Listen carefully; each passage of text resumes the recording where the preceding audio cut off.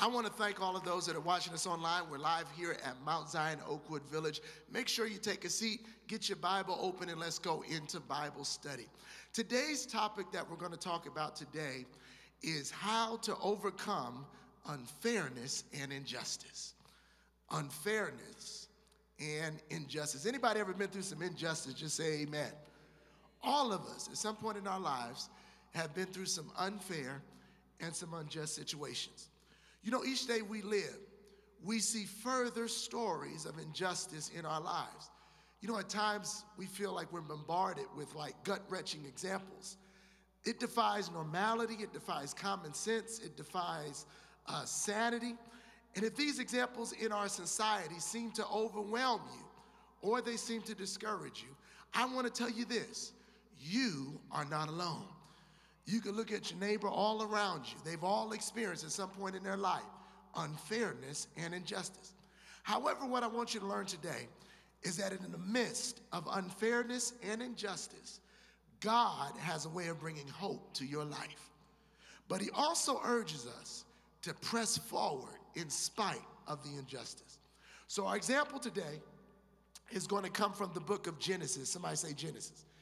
Genesis. Genesis chapter 3 is one of the texts we're going to talk about, and Genesis also 37. Well, you'll read the biblical story of Joseph, the biblical story of Joseph. And Joseph, in his life, he dealt with a lot of injustice and unfairness in our life. I can just give you a rundown of what Joseph went through.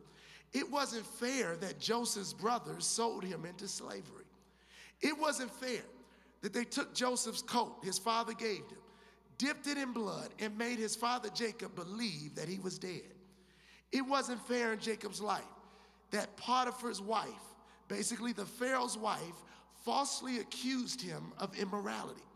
It wasn't fair that Jacob had to spend 13 years, I believe biblical scholars say, 13 years in prison for crimes that he did not commit.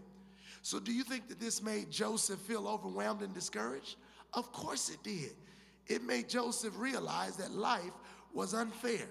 But here's what injustice didn't do to Joseph it didn't shake his faith in God. And I want to tell you today, you've got to keep your faith no matter the situation. So I just gave a quick rundown of the injustices that Joseph had to endure. And so the Bible teaches that Joseph, in the midst of all these moments, what did he do? He kept his eye focused on God. He kept his eyes focused on God. Now, Joseph is mentioned in Genesis, but we can hop all the way to Hebrews 11 in the New Testament, where it is said that biblical heroes, just like Joseph, they battled unfairness by faith. They chose to act faithfully despite the circumstances in their lives. In fact, the phrase by faith, somebody say by faith, it's repeated 21 times by the author of Hebrews, which basically shows us that God was trying to tell us something. First, the question is asked what is faith? So, Hebrews 11, verse 1 basically helps describe what it is. It says this let's read Hebrews 11, verse 1. It's on the screen. It says, Faith is the assurance of things hoped for and the conviction of things not seen. So, what does that mean in Joseph's context? I told you all the injustices that Joseph had to go through. It meant Joseph lived his life conf- confidently knowing that God would never leave him nor forsake him. See, Joseph left, led his life because he knew that God intended all he went through for a plan that would turn out for his good. See, I don't know who hears me today, but God can turn it out for your good. God can change it for your good. And see, later in the book of Genesis, what you'll learn, again, if you read that on your own this week, is you'll learn that through Joseph's journey, that he went from the pit to the palace. He went from the pit to the palace. And what he would accomplish would be called, as the Bible says in Genesis chapter 50, verse 20, he would accomplish the saving of many lives from a severe famine he would accomplish the saving of many lives. And so ultimately, what did God do? He made Joseph second in command to Pharaoh.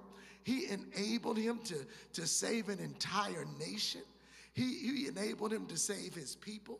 He enabled him to save his entire family from whom Jesus would descend.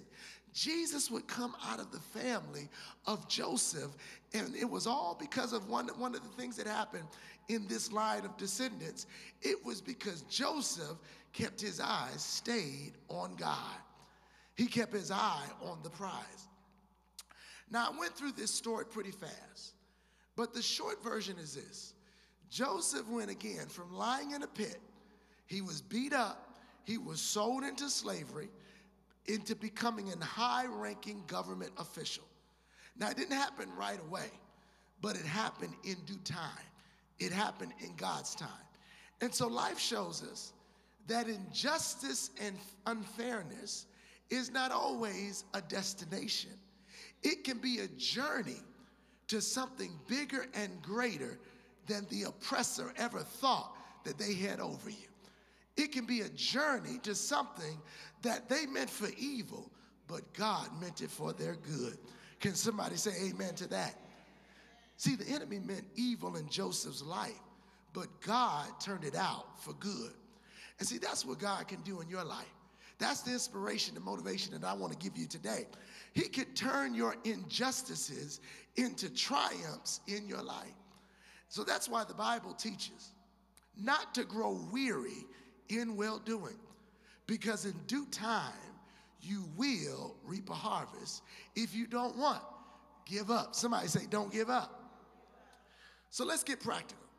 How can you press forward in the face of adversity, in the face of injustice? You just said it. Here's the number one point never give up. Somebody say, never give up. So, how many was alive in the 60s? That was everybody except for me. There's a few of us that were. So, Ralph J. Bunche, anybody remember Ralph J. Bunche? He's a civil rights activist in the 1960s. He said this He said, To make his way, you must have a firm resolve, you must have persistence, you must have tenacity. He said, One must gear himself or herself to hard work, not part of the way, but all the way. And he said this He said, He or she can never let up. He can never, she can never let up. Now, while Joseph never met Dr. Bunche, there's a good chance that he would have agreed and identified with this statement. See, Joseph had a choice. He had a choice to make in the middle of his injustice. But Joseph made the choice to press on even through disappointment. Think about your own life. Has anybody ever walked through a season where you felt like you were disappointed? Anybody ever walked through a season where you seemed like you couldn't catch a break? Anybody ever went through a season where you said, you know what, this cannot be my reality? Anybody ever went through a season where maybe you lost someone you loved or you lost a job or you were sick or maybe you were mistreated. I, I don't know. Whatever it is, life can throw some unfair punches in your face. But here's what I want you to remember at the end of the day, you got to be like Joseph and never give up. And see, he was encouraged that the Lord will always see his children through. The Lord will always see you through. Turn to the Bible in John 16 33. If you got a Bible with you, turn to John 16 33. In the New Testament, John 16 33, Jesus was talking. He said in this text, He said, You will have suffering in this world. But he said this somebody repeat that to me.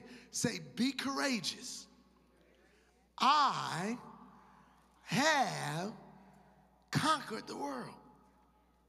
See, the good news in your situation is that Jesus said you're going to have some suffering, you're going to see some injustices, but be courageous because I have conquered the world. So you don't have to give up. You know, as Christians, we are not called to fight evil for evil. When justice hits God's people, we've got to think on a higher level. Now, the truth of the matter is, it's hard. I'm not going to lie to you. If somebody slaps me in the face, they might be getting them off the ground. But at the end of the day, we have to learn how to respond. Again, Joseph, he was in prison. He was in prison for something he did not do. He was falsely accused. But somehow you're reading this text that he remained. He was content. See, it was Paul the apostle. Paul the apostle would later write in his letters to the church in Philippians 4:11, which is another text that we can put up. Philippians 4:11. It says, "I learned to be content in whatever circumstance I find myself in." Think about this. What Paul learned was how to preserve, was how to basically, here's another word, was how to persevere. See, that's what Joseph did in his story, in his situation of unfairness and injustice. Joseph persevered. So here's some text on perseverance that you've got to keep in your back pocket when dealing with injustice. Psalms 34 19 is on the screen. Romans 5 3 through 5 is on the screen. James chapter 1, 2 through 4. Those are texts that you've got to learn. You've got to consider Joseph's life in your own within these following passages. I'm just going to read them to you. Psalms 34 19 says, One who is righteous has many adversities, but the Lord rescues them out of them all. Here's some inspiration. Here's another one Romans 5 3 through 5. We also boast in our afflictions because we know that afflictions do what? They produce endurance. Endurance produces proven character. Proven character produces hope. And this hope will not disappoint us because God's love has been poured out in our hearts through the Holy Spirit, which was given to us. Here's another one James chapter 1, 2 through 4. Here's some text that you got to keep in your spirit when you're dealing with injustice. Consider it great joy, my brothers and sisters, whenever you experience various trials, because you know that the testing of your faith, sometimes what you go through is only a test. It's a testing of your faith. How many know people will test your faith all the time? The testing of your faith produces what? Somebody say endurance. And let endurance have its full effect so that you may be mature and complete, not lacking anything. The Bible says lacking nothing. See, through these passages, though they were written long after Joseph's death, I believe Joseph modeled these truths. He was repeatedly wronged, he was enslaved, he was imprisoned, but he chose to make the most of his circumstances by rising up in the midst of what he was going through. Now, now the truth is, circumstances, yes, they can get you down. But remember, just as the Lord fought for Joseph, here's the good news He'll still fight for you. He'll fight for you. Is there anybody in this place where God fought for you in the midst of what you went through? He fights for those who trust in Him. So even when God allows disappointment, we must choose to trust Him and we must choose to persevere. Somebody say, persevere. So never give up. And secondly, don't be discouraged. Here's the next part. Somebody repeat after me. Say, don't be discouraged. Now, this is a hard. It's very hard not to be discouraged when, when something's unfair. But the Bible teaches don't be discouraged. That don't make no sense. But what does the Bible say? Don't be discouraged. See, Joseph had several times when he should have got out of prison early. He had several times where he could have got out of his situation before those 13 years, if you read in the text. On your own time, you'll see that things didn't work out the way that they should have at times. But the truth of the matter is, what Joseph was dealing with is he was dealing with human beings. How many know that human beings can be fickle? Don't look at your neighbor, don't blame them. But human beings can be a trip. And see, we know this as a fact of life that people will disappoint us, friends will disappoint us, family will disappoint us. Governments will disappoint us. People in control, people you encounter in life will disappoint you. There are going to be some times where you're going to feel overlooked, dismissed, and it's going to feel like you're forgotten.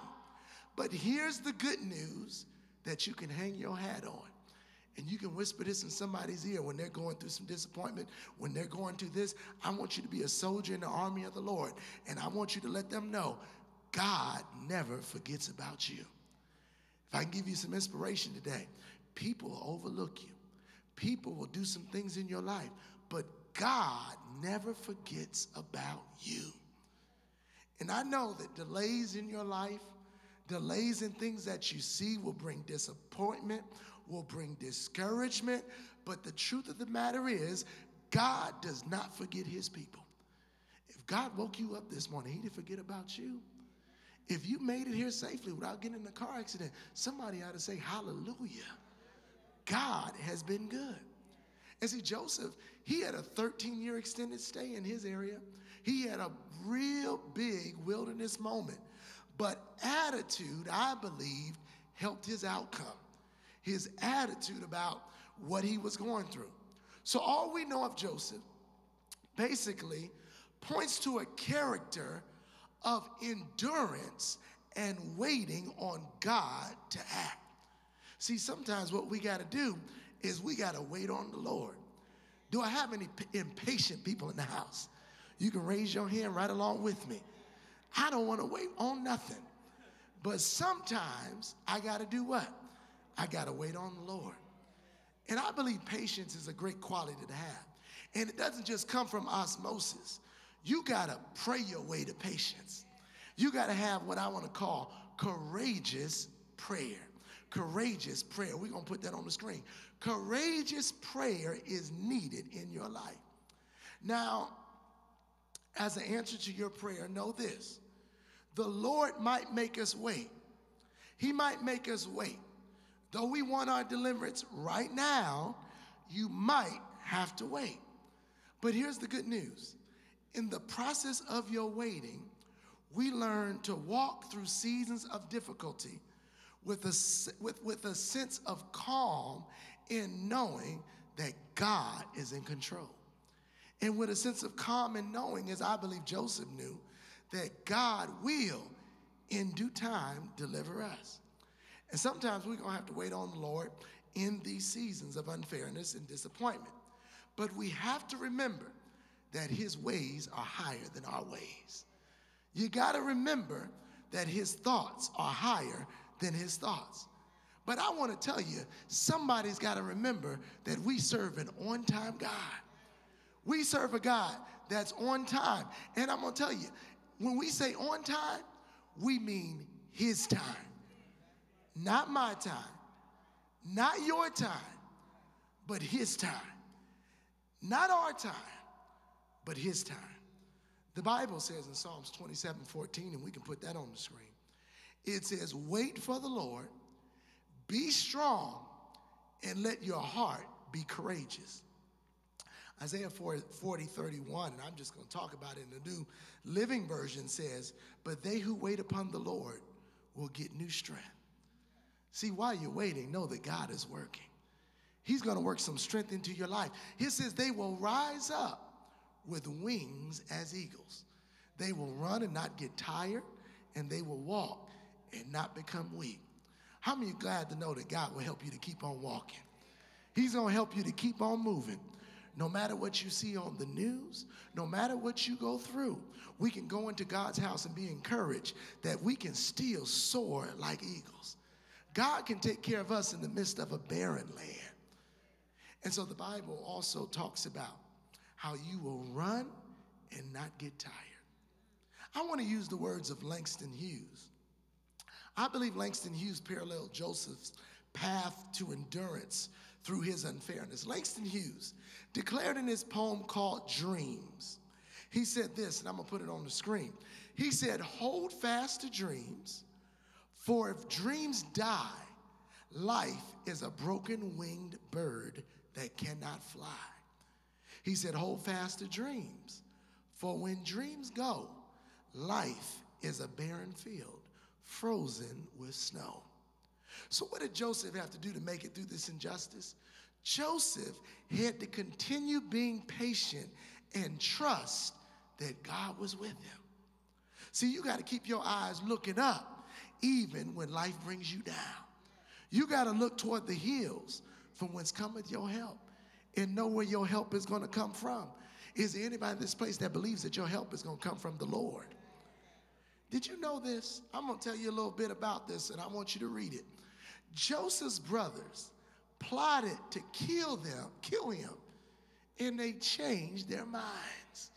See, God can change the minds of your enemy. Did you know that Joseph, when he was taken into slavery, when he was accused of the crime that he was accused of, what was the usual penalty? The usual penalty was death. And what happened? Potiphar only jailed him. See what that tells us?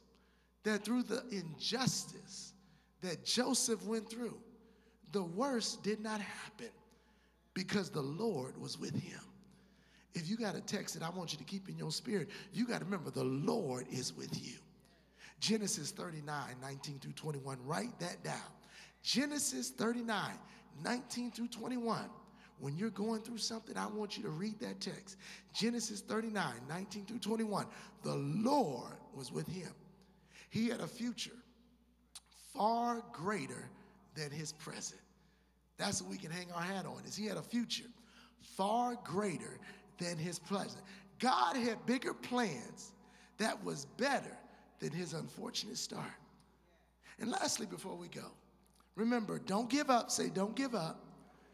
Say, don't be discouraged.